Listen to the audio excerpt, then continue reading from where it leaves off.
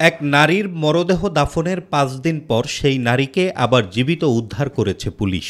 গত এগারোই সেপ্টেম্বর ফরিদপুরের সদরপুর উপজেলার কৃষ্ণপুর ইউনিয়নের শৈলডুবি গ্রামের হাবিবুর রহমানের মেয়ে হাসি বেগম নিখোঁজ হয় বলে সদরপুর থানায় একটি সাধারণ ডায়েরি করেন হাসির বাবা হাবিবুর রহমান।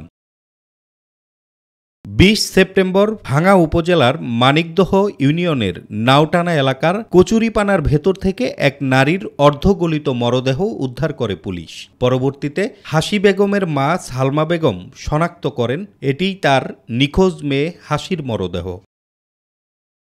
একই দিনে নিখোঁজ জিডির সূত্র ধরে হাসি বেগমকে ময়মনসিংহের নান্দাইল এলাকা থেকে আটক করে সদরপুর থানা পুলিশ। ঘটনায় পুরো এলাকা জুড়ে চাঞ্চল্যের সৃষ্টি হয়। তাহলে দাফনকৃত ওই নারী কে?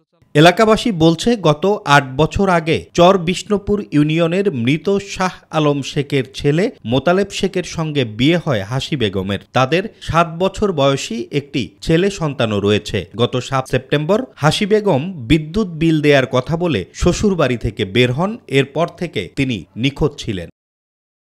Hasan Zakir, My TV.